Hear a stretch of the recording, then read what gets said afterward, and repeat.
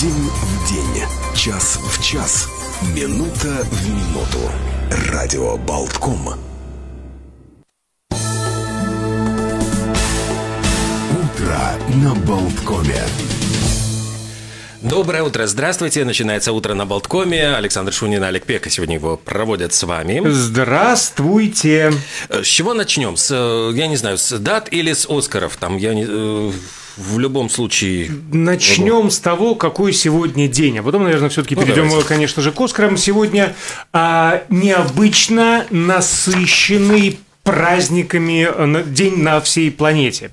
А в разных странах сегодня отмечается, честно говоря, просто черти что. Начнем с того, что сегодня день, который называется, вот просто вот в кавычках, «Ты все делаешь правильно» на английском языке. «Everything you do is right day». Сегодня же день спонтанности, к чему Everything вас I и do, I do призываю. it for you. Сразу вспоминаю песню. Почему так вы так- Ну так разумеется. Так, что еще? Какие сегодня? Ну, День памяти легионеров Латвии у нас такой, скажем, э, очень двусмысленный Есть праздник. менее двусмысленные дни, например, день без селфи. Или, скажем, а, день артишоковых сердечек в США. Как вам такое? Артишоковые Илон Маск? сердечки. Это шок. Ну да, день цветных карандашей, опять же. Раскрасим, раскрасим этот вторник. Вроде как солнышко появилось и не очень холодно. Что-то такое вот рядом напоминает весну сегодня. Приятно. Э, Если заглянуть в календарь, то вот в 1831 году приключилось м, знаменательное событие. В Париже был выпущен роман Виктора Гюго «Собор Парижской Богоматери». Э, Роман, первый исторический роман французский, Собственно, вот Гюго был э, основателем жанра, и э, говорят, что эту, этот роман он задумал, э, ну, вот сейчас бы сказали так, как пиар-акцию. Дело в том, что ходили слухи о том, что собор Парижской Богоматери собираются или снести, или модернизировать, и вот он хотел каким-то образом э, привлечь внимание вот к исторической значимости этого собора, и роман действует, вот, собственно говоря, он является буквально действующим лицом этого толстенного романа, Говорят, что после пожара вот в Париж, соборе Парижской Богоматери опять-таки взлетел этот роман на первое место, все Конечно, бросились его читать. ожидаемо. И надо заметить, что с этим тоже связан еще исторический анекдот, когда Гюго отправил телеграмму с вопросительным знаком издателю, чтобы узнать, как издается роман, и тот ему прислал восклицательный знак, потому что это действительно вот по нынешним меркам был абсолютный бестселлер. Э, Еще в 1917 году, собственно, состоялась февральская революция. Это э, отречение последнего монарха, а им был не Николай II, он же отрекся в пользу брата Михаила. Вот отречение Михаила Александровича в пользу Временного правительства. И таким образом первым царем Романовых был Михаил, и последним Михаил. То есть многие видели в этом тоже какое-то такое вот зна- знаменательное какое-то такое совпадение. Ну и вот после уже акта об, э, об отречении, собственно, Россия стала республикой. Несколько дат э, сегодня связаны непосредственно с Латвией, а даже э, и с Ригой. Так, например, в 1869 году э, в здании реальной гимназии, нынешняя первая гимназия, открылась для общего обозрения городская картинная галерея, основу которой составила коллекция Доминика де Рабиани. В общем-то, она же стала основой коллекции Государственного художественного музея здесь, вот у нас за углом на Валдемара. Сегодня же отмечается день рождения а, Эльзы Розенберг, более известно, что ну, современно выражаясь, АК, АК, да, as known as Аспазия, латышская поэтесса. Э, И уместно ли зачитать немного ее а, строк? «В бессилии мечте отдамся, в ней обрету покой, ты голову мне погладишь ласковой рукой, в груди моей лед растает, тугой развяжется жгут, и теплым весенним ливнем слезы мои потекут». А, Напомню, что 8 марта, в Международный женский день, такое вот совпадение, а, мэр Риги Мартин Штакис объявил о планах открыть в городе в скором будущем памятник Аспазии. А еще, а еще, э, э, продолжу, коллега, прошу прощения, Э, 1910 год, Цаль Айзикович Меламед появился на свет, латвийский писатель-сатирик, публиковался в Дазисе и в Крокодиле, и в советской молодежи. Все мы помним такую замечательную а, газету. Автор афоризмов, например, а, например, например, например, Не знаешь, откуда цитата, сошлись на Заратустру. Или на сцене до того натурально чокались, что зрителей потянуло в буфет. Э, Еще в этот день родился космонавт Владимир Комаров в 1927 году. Его судьба сложилась трагически. Он, ну вот, ему было суждено быть первым человеком, который, э, первым космонавтом, который погиб во время миссии, космической миссии. Он не вернулся с орбиты, ну, точнее, вот разбился при приземлении, сгорел заживо. И он был также первым э, космонавтом, который дважды полетел в космос. То есть после первого, по-моему, в 1964 году полета, вот был трагический этот полет в 1967 году. Есть, эм, даже, по-моему, я в Википедии за какой-то момент читал, потом убрали эту информацию. Э, якобы сложилась легенда, что вот понимая, что он погибнет, он эм, якобы по радиосвязи крыл, на чем вообще свет стоит, советское правительство, конструкторов и инженеров. Дело в... Но это, я думаю, легенда. Ее опроверг потом Алексей Леонов, космонавт. Он сказал, что там было буквально несколько секунд после, вот, ну, когда не раскрылся парашют, и до момента, когда практически вот загорелся этот корабль, говорит, да это все ерунда. Но действительно, правда была в том, что торопились к 50-летию революции отправить вот очередную, э, значит, экспедицию в космос, и таким образом э, получилось что полетел он с недоделками. То есть с самого начала эта миссия столкнулась с рядом каких-то технических, там не раскрылся, не раскрылись солнечные батареи, затем еще начались какие-то неполадки, и было принято решение вернуть его на Землю. Но вот поразительно, что дублером Комарова в этом последнем э, полете был Гагарин. И они буквально, ну вот, э, поскольку это дублер, до последнего его сопровождает, и только вот ну, в самый последний момент космонавт садится и э, взлетает, Гагарин был последним, кто видел Комарова живым. И когда вот говорят, что вдове Комарова вручили справку, Э, и она потом жаловалась Гагарину, что там было, ну, написано вот как-то все очень туманно, там пытались зашифровать его смерть, и она сказала, что кто мне поверит, что я вот жена, ну, героически погибшего космонавта, и Гагарин, ну, она в ее воспоминаниях было, побледнел, и э, с этой справкой ушел, и затем вернулся, ну, вот с справкой, где было написано, что он действительно ну, погиб при выполнении там задания, то есть, э, ну, надо понимать, что он э, навел шороху там, в общем, в этих бюрократических юридических кабинетах. Напоминает собачье сердце. Мне нужна такая да, бумажка, да, вот основательно, бумажка. И броня, вдова, а не бумажка. Вдова Комарова, она, ну вот я тоже рассказывая, она говорила о том, что, ну вот опровергая эти слухи о том, что якобы он э, ругал советское правительство, она говорит, что да, была связь вот с Косыгиным, и якобы вот последние слова э, Комарова, которые ей передали, позаботьтесь о моей семье. То есть, ну вот перед, когда он понимал, что он, ну, погибнет. Вот ну, такая вот действительно трагическая страница в истории советской космонавтики. Э, первый вот человек, который погиб в космосе, вот, к сожалению, он вот стал именно таким. Первопроходцам всегда тяжело. Говоря о связи, наверняка он говорил по радио, и сегодня в, 1900, э, в 1859 году а, появился на свет э, Александр Попов, да. Э, физик, электротехник, изобретатель радио. Многие, конечно, а, оспаривают его изобретение. Главный из соперников итальянец Маркони, но тоже, в общем-то, информации хватает о том, что просто Маркони оказался более предприимчивым, особенно учитывая, что долгое время изобретение Попова в царской России было засекречено.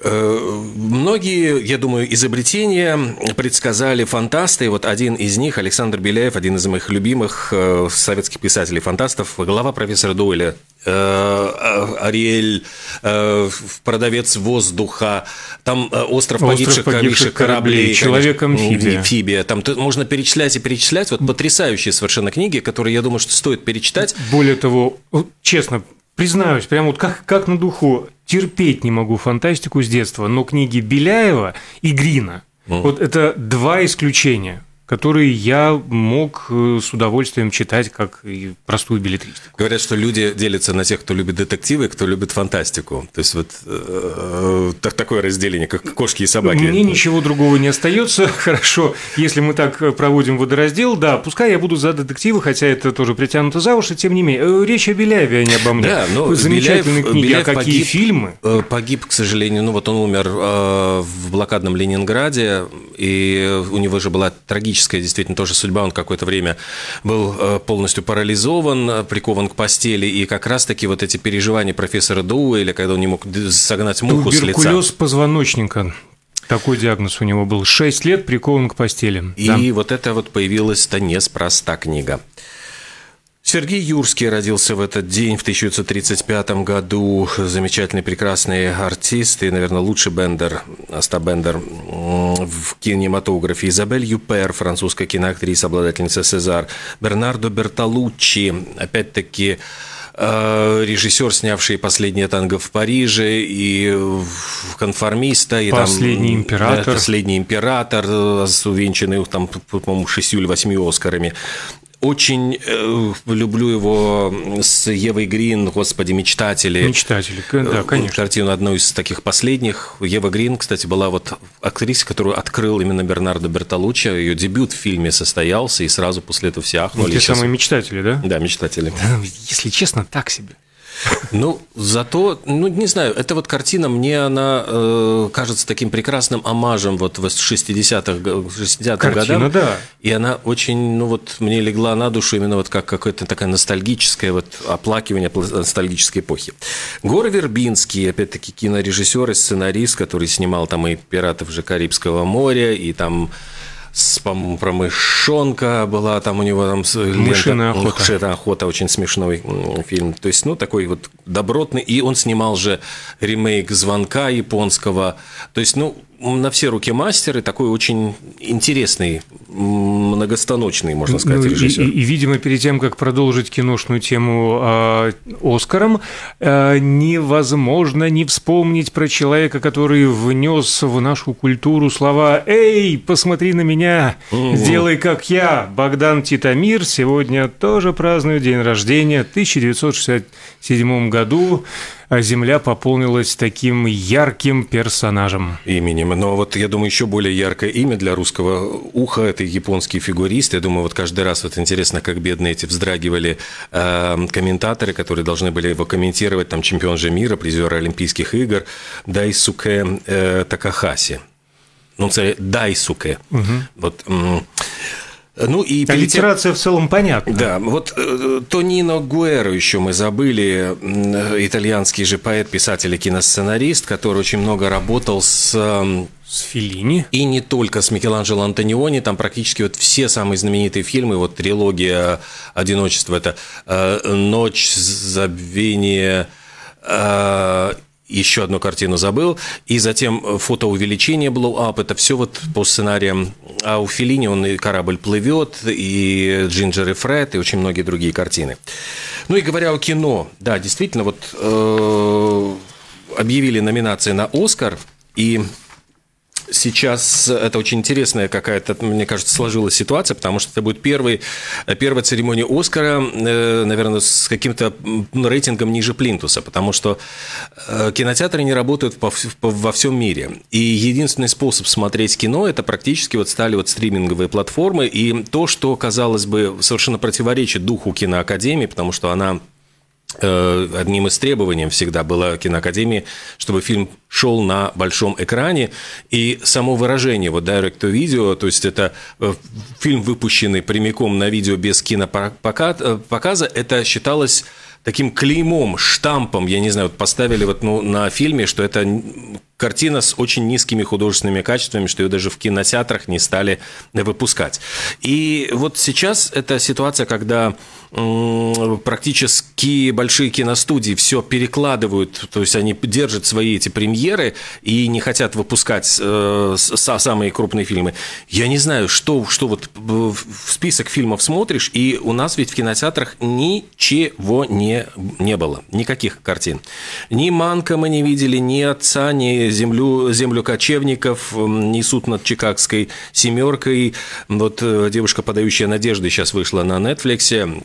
Скэри Маллиган э, очень такой, э, ну, действительно сильный, такой феминистский фильм. Я понимаю, почему он попал тоже в список номинантов. Но вопрос в другом. Вот где мы будем смотреть вот эти картины? Выйдут ли они у нас в прокате? Потому что кинотеатр у нас непонятно откроются до вообще лета или будет все это закрыто. И самое главное, что, конечно, эти стриминговые платформы раньше, вот кино, каждый кинотеатр был ориентирован на то, чтобы пропагандировать э, картины, которые идут в кинотеатре. Мы видели эти аутдор-рекламу, мы видели какие-то трейлеры или рекламу на телеканалах. То есть вот, вот фильм все время был на слуху. И вот каким-то образом, ну то есть даже если ты не видел этот фильм, ты был в курсе, что такой фильм существует. И когда он появлялся вот в оскаровских номинациях, ну, как бы ты хотя бы понимал, что Сейчас у меня ощущение, вот люди смотрят и не понимают, а что это, это такое? что такое? Это что за люди вообще? Кто это? Кто это вообще? Какие-то это, это мой случай на самом деле. Все вышеперечисленное, опять же, сегодня утром моих признаний прошло мимо меня в этом году. Абсолютно не зацепился ни взгляд, ни слух, ни за что вот из этого.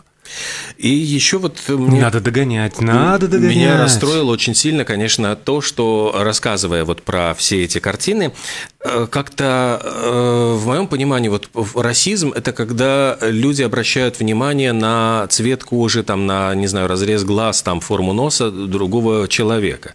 И вот э, каким-то таким, вот, мне кажется, обратным проявлением вот расизма является какой-то такой методичный подсчет, сколько не белых белых людей вот выдвинуты на номинацию, потому что это каждый Согласен. раз это становится какой-то такой темой обсуждения, обсасывания. Посмотрите, впервые два азиатских, значит, там представителя, представителя Азии попали в номинацию. Да бог с ним, да господи, но давайте не будем обращать внимание на цвет кожи. Тем более, что сейчас, мне кажется, в Америке в этом плавильном котле там э, актеры вот как Хелли Берри или Дензел Вашингтон, у них есть и черные, и белые корни, и они уже не ярко выражены определенные представители там какой-то одной э, расы. То есть вот в этом плавильном котле как раз-таки и складывается, вот, ну, не знаю, условно говоря, американская нация, которая, э, ну, плевать ты должен, вот, по идее, на, на, на то, кто там были родители, там, в каком поколении вычислять этот процент. Вот посчитаешь и плюй себе на здоровье. Ну, норму,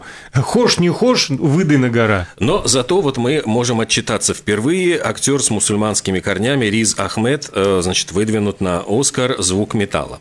Ну, вот не зря год прошел. И еще одна, вот мне кажется, очень нечестное, э, нечестное обстоятельство – это выдвижение актера, который умер э, ну, перед, перед, перед всеми, всеми этими э, номинациями. Э, Чедвик Боузман, тот, который сыграл «Черную пантеру». Э, да, действительно, у него была прекрасная роль в фильме «Ма Рейни. Мать блюза», но вот я не знаю, насколько честно вот его выдвигать посмертно, потому что получается, мне кажется, что все остальные прекрасные актеры, которые попали в эту категорию, Энтони Хопкинс, там, Гэри Олдман, Заманка, они абсолютно без шансов. Ну, то есть, э, или, э, ну, получается так, что или если они выиграют, то все скажут, у, ну вот, ну то есть по идее вот получается какая-то такая э, не очень хорошая с этической точки зрения, что они как будто бы борются с э, уже умершим актером. То есть я понимаю, вот есть э, ну, обстоятельства, но мне вот кажется, что стоило бы ему просто вручить какой-то посмертный приз вот э, памяти, поскольку, ну, там, да, прекрасно он сыграл, но... Ну, может быть, я буду сейчас ужасно нетолерантен, но мне кажется, уже одно хорошо. Нет специальной номинации, или, скажем так, что ни в одной из номинаций не выдвинут э, Джордж Флойд. Да, да, наверное, это вот э, это было бы тогда... За это большое человеческое да, спасибо. Совсем уже э, все границы бы э, пере, перевалило. Мы переваливаем через свои, видимо, границы. Нам э, подают знаки, что впереди на нас неотвратимо надвигаются новости «Эхо Москвы». Да, я правильно понимаю ситуацию? И мы тогда прямо сейчас их ставим. А потом возвращаемся. Все правильно. Оставайтесь с нами. Утро на Болткоме продолжается. Новости «Эхо Москвы» на радио Болтком.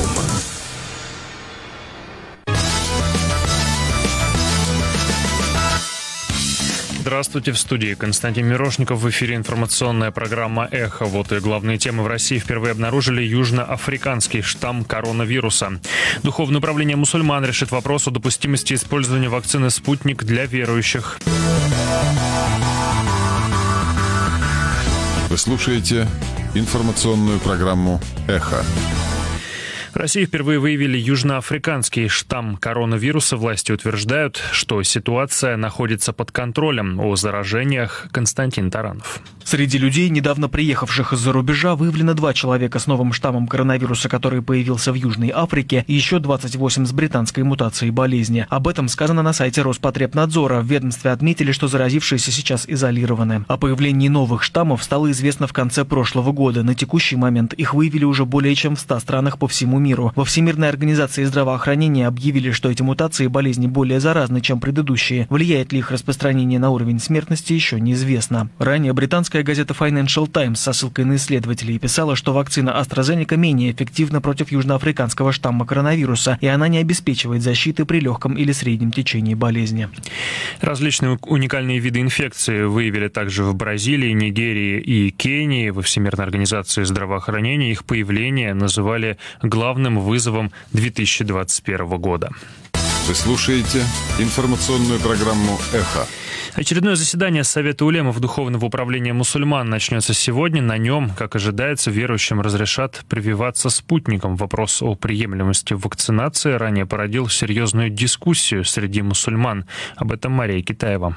Фетву – богословское заключение о соответствии вакцины нормам ислама и допустимости для использования мусульманами Духовное управление мусульман может принять уже сегодня. Об этом заместитель председателя Совета улемов Ильдар Алиуддинов сообщил еще месяц назад в ходе круглого стола под названием «Вакцинация от коронавируса в свете исламских религиозных предписаний». Алиуддинов отметил, что к мартовскому заседанию этот вопрос уже должен быть решен. В январе духовные лидеры мусульман направили разработчикам спутника запрос о составе препарата. По их словам, поступало много обращений от верующих, обеспокоенных ситуацией. Поэтому мусульманские ученые намерены вынести богословское решение о дозволенности вакцины. В институте Гамалеи заверили, что она не содержит никаких запрещенных исламом компонентов. Ранее Алиуддинов отмечал, что пока мусульмане в целом с осторожностью относятся к новым вакцинам и не торопятся делать прививки. Вакцинация станет одним из условий для получения разрешения на въезд в Саудовскую Аравию для участия в хадже, ежегодном паломничестве к Мекке. В сети опубликовали видео распыления газа у редакции «Новой газеты». Судя по ролику, человек, одетый в форму курьера, выпустил его из устройства, прикрепленного к велосипеду, и уехал. Издание обратилось к правительству Москвы с предложением провести совместное расследование химической атаки. Напомню, журналисты пожаловались на резкий запах, возникший на входе в редакцию еще накануне. На место происшествия выехали экстренные службы, которые впоследствии отчитались, что не обнаружили повышенного содержания вредных веществ в воздухе. Константин Мирошников, служба информации «Эхо Москвы».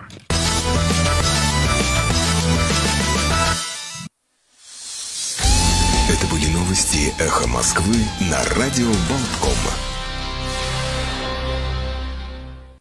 Утро на Болткоме.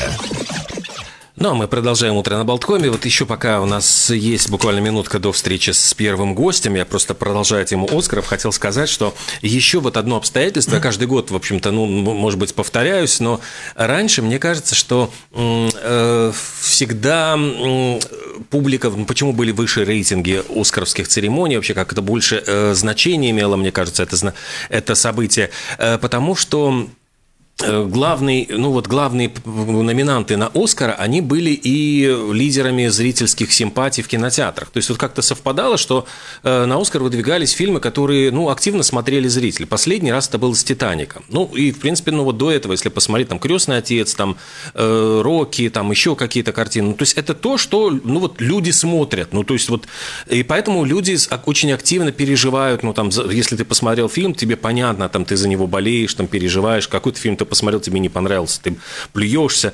А если э, вот сейчас э, происходит какая-то странная ситуация, что на Оскар выдвигаются в основном такие фильмы очень узкой направленности, такого, ну, не совсем артхаус, но уже близко к этому. И Имеющий, просто... конечно, своей целью воспитание неких чувств да, определенно. Может быть, да. Но с другой стороны, вот люди смотрят и плюются, потому что, ну, я, я даже помню, что один раз э, на Оскаровской церемонии там был темнокожий ведущий, комик, который все время говорит, давайте давайте посмотрим, что народу нравится. Вот какой лучший фильм года, делает опрос, и там все говорят «белые цыпочки», «белые...» Ну, то есть там была такая-то комедия жуткая. Американский пирог какой-то очередной. И вот он говорит, вот что люди смотрят, а не вот это то, что вы сейчас номинировали. Артхаусня вот это ваше, вот никому непонятное. Ну, дятина! Ну, а между тем у нас уже появился на связи наш первый гость, адвокат Андрей Адамсон. Доброе утро, здравствуйте. А, доброе утро. И тема, между прочим, серьезная. А мы связались с Андреем, чтобы прокомментировать э, одну тему. Она извечна а, весной э, в наших широтах, конкретно в Риге. Это ямы, или, как я это называю, выбоенные дороги. Вот честное слово.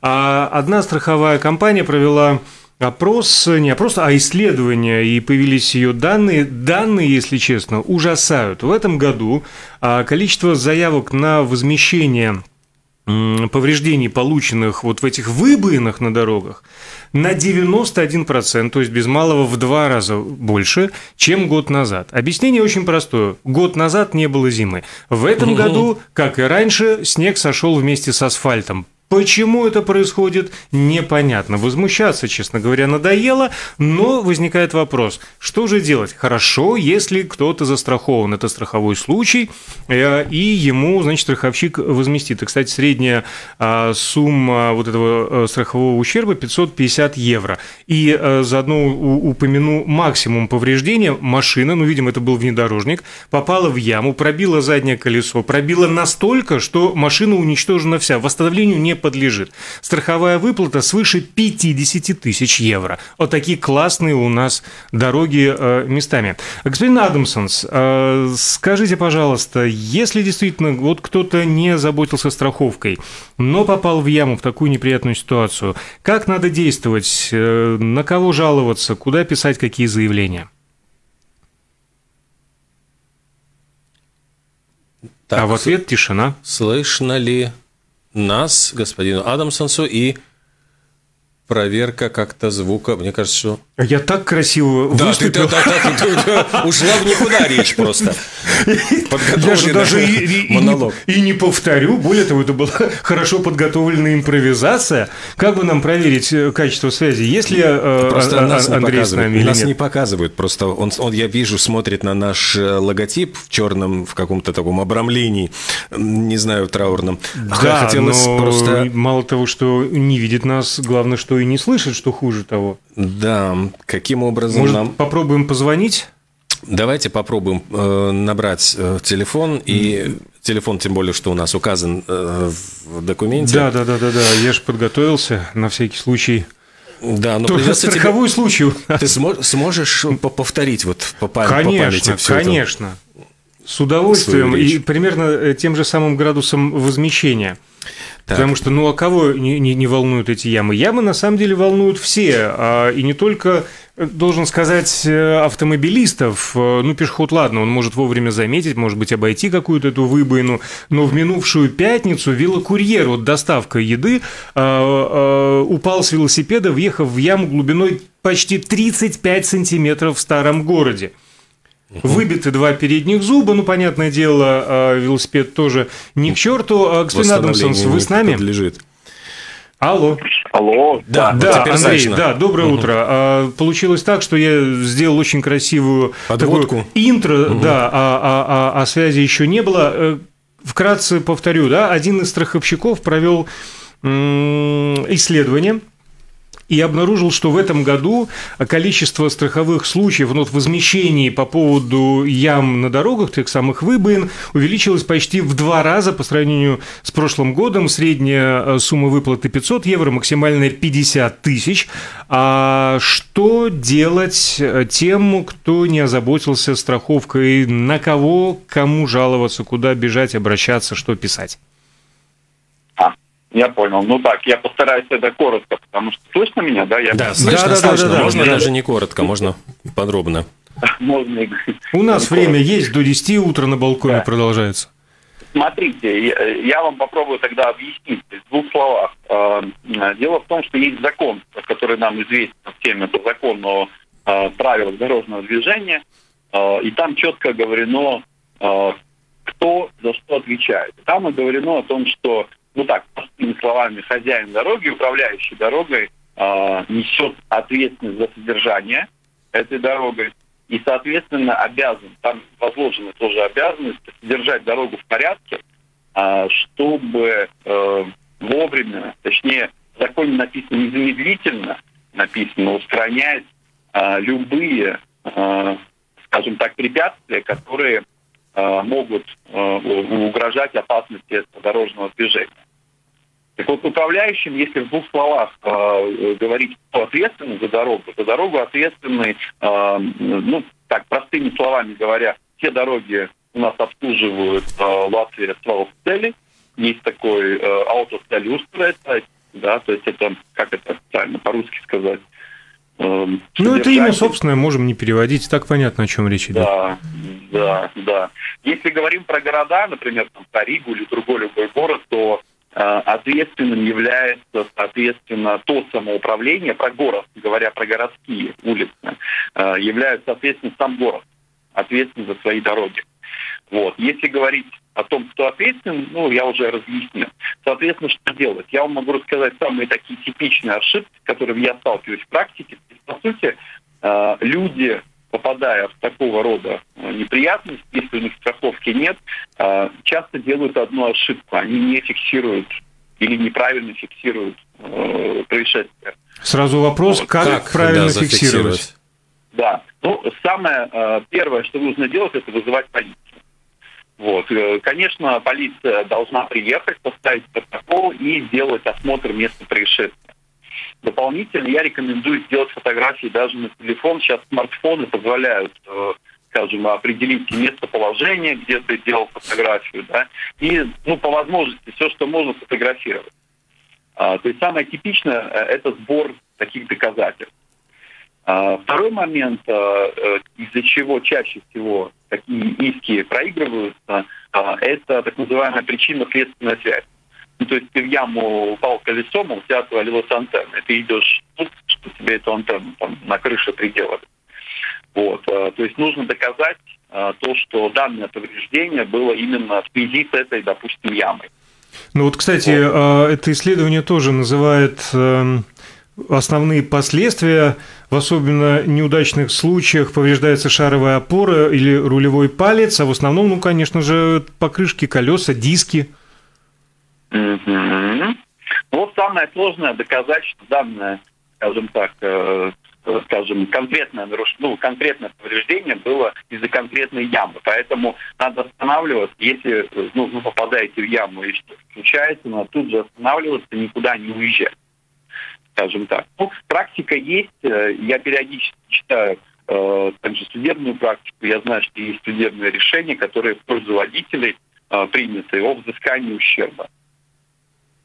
Вот. Ну, в двух словах, вот угу. какие, может, вопросы, я сразу вам тогда на это лично ответить. А насколько долгий, насколько сложный, тягомотный этот процесс, вот выбить деньги из страховщика?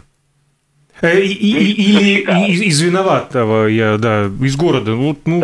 Со стороны города кто будет ну, например, отвечать? Департамент движения?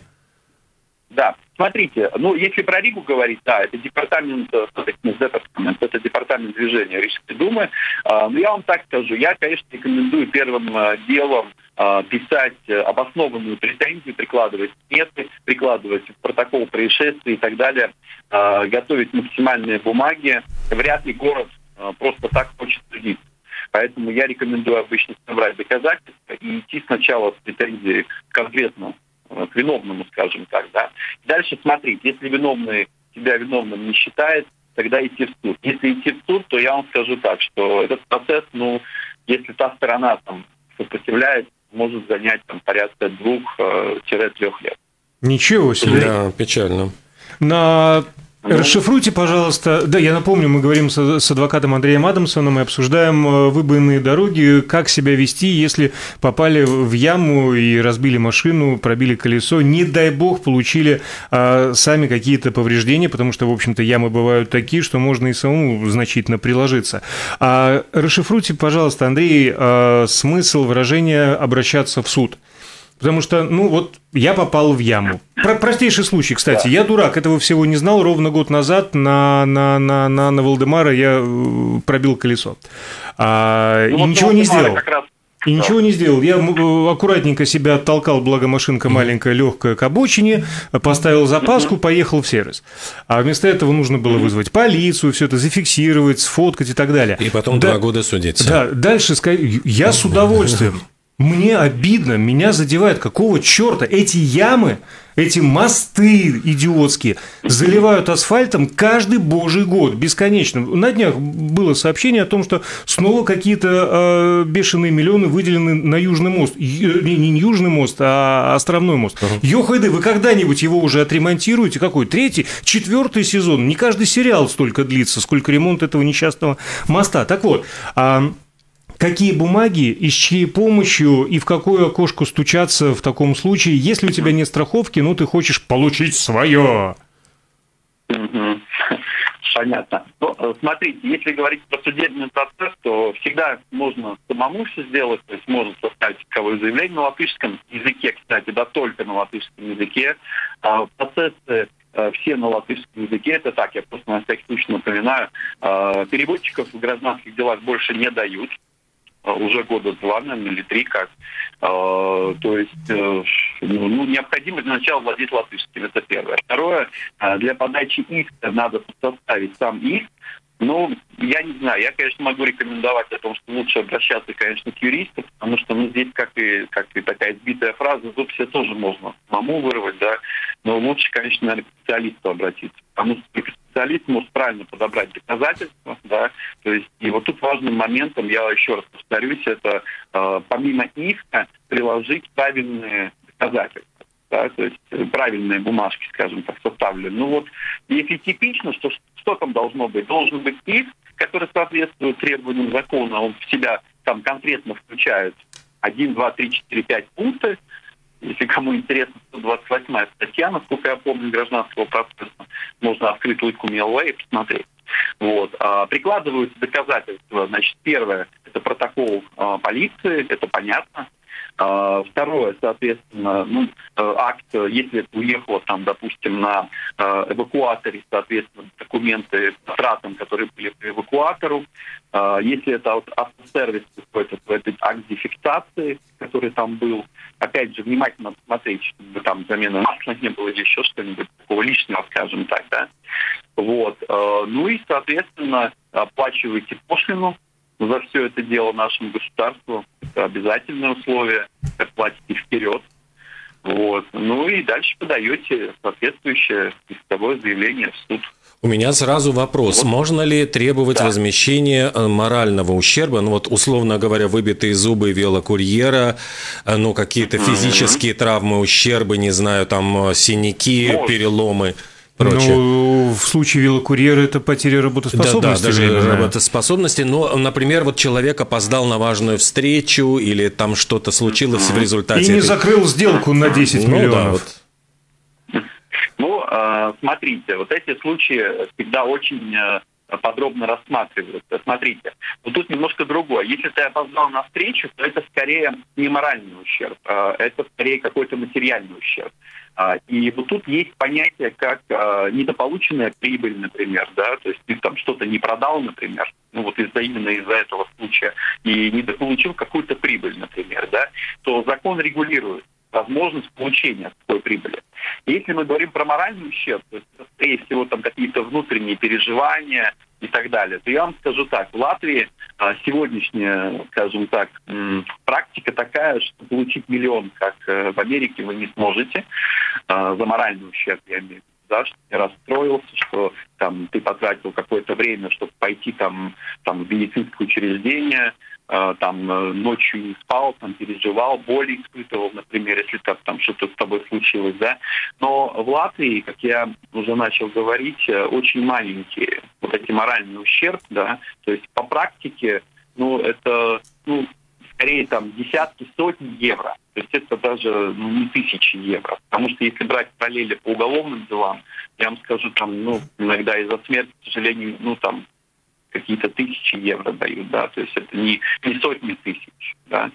Вот, поэтому в гражданских делах о том, что ты там постоял на дороге, померз, там расстроился из-за своей машины, например.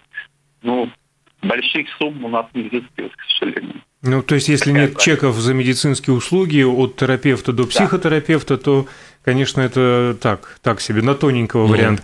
Но а, скажите, пожалуйста, Андрей, а к, к, к какой сумме нужно готовиться? Ну, прозвучало, вы сказали, что тяжба может длиться 2-3 года. В какую сумму может истцу она обойтись?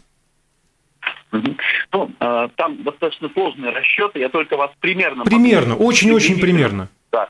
Ну вот, а, например, если вот последнее дело возьму, там 5000 евро ущерб, а, пошлина порядка 500 евро. Примерно. Ну, то есть десятина. Ну, приблизительно, приблизительно, mm-hmm. да. Но там, там она очень э, градация идет. Естественно, если э, там сумма, например, миллион, то 100 тысяч не будет, там гораздо меньше будет. То есть там идет градация, она достаточно, она рассчитывается и процентуально, есть фиксированная часть, есть проценты. Мне сложно э, это сказать. Минимум могу сказать. Минимум 70 евро. А какие самоуправления, вот, может быть, являются ну, наиболее такими сложным, крепким орешком, а если вот мы говорим про судебные вот процессы, где вот ну, легче идут на э, какую-то мировую, ну, условно говоря? С кого, с кого проще стрясти? Да, стрясти.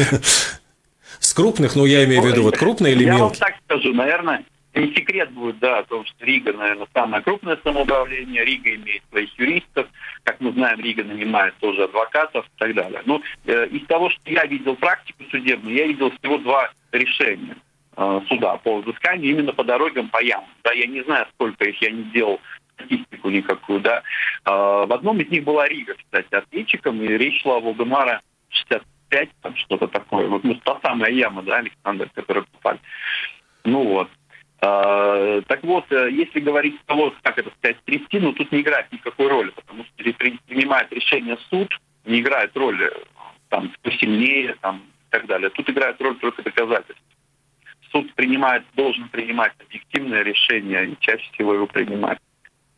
А если в Латвии частные дороги, например, вот э, что здесь будет иск предъявлен вот владельцу вот именно этого участка дороги? Да, есть. А, кстати, ну, например, лесная дорога. Ну, например, лесная, но даже я знаю, сейчас город растет, покупают поселки, да, и вот в этих поселках частные дороги на самом деле. То есть, э, да, я забыл сказать совсем о том, что за частную дорогу несет ответственность хозяин дороги. Угу. Это тоже выясняется довольно просто. То есть, частное лицо, то есть это компания чаще всего, ну, может быть, физическое какое-то. И тогда получается, что уже будет иск этой компании э, как владельцу да, этой дороги. Абсолютно верно. Угу. Да, да, да, да, да. То есть отвечает э, хозяин. Если это физическое или юридическое лицо, то э, частное лицо, то тогда отвечает он. Если городская улица, то тогда департамент, э, вот если там смотреть города, скажем так, самоуправление.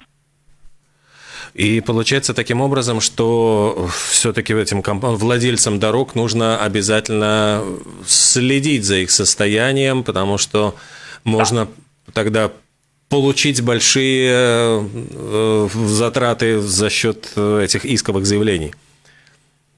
Ну да, я уже сказал, что, во-первых, э, он обязан постоянно содержать в порядке, это понятно.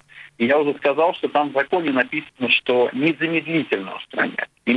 Слово незамедлительно. Оно важное. То есть это значит, что как только я появилась, прибежал, залатал.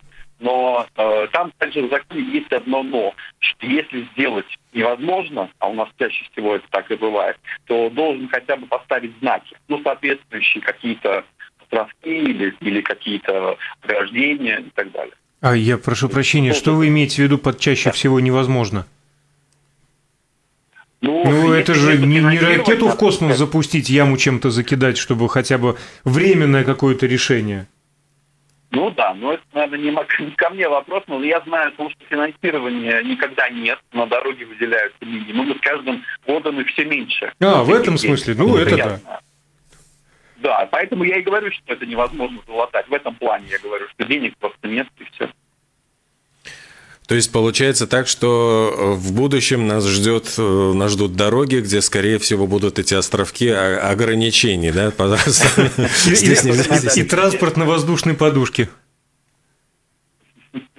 Примерно так. Что скользите быстрее по воздуху. И вообще, не, не, не касаясь. Огромное спасибо, спасибо Андрей, за, за разъяснение. Мы беседовали с адвокатом Андреем Адамсонсом, и отправной точкой стала а, свежая статистика одной из страховых компаний по поводу а, ям на дорогах и компенсации. Их количество увеличилось практически на 100% по сравнению а, с прошлым годом, а весна только началась, а, в общем-то, асфальт продолжает сходить вместе со снегом и со льдом. В общем, знаете что, будьте, пожалуйста, бдительны и не стесняйтесь отстаивать свои права. А в продолжение моей грустной истории э, за прошлый год, ну ладно, это не была улица Валдемара, это Карля Ульманя, но э, не суть важна. Мне э, понравилось в этой ситуации другое – отзывчивость, отзывчивость коллег по дороге. Значит, мне стоило буквально а, поднять руку, попросить кого-то о помощи. У меня не было домкрата в машине.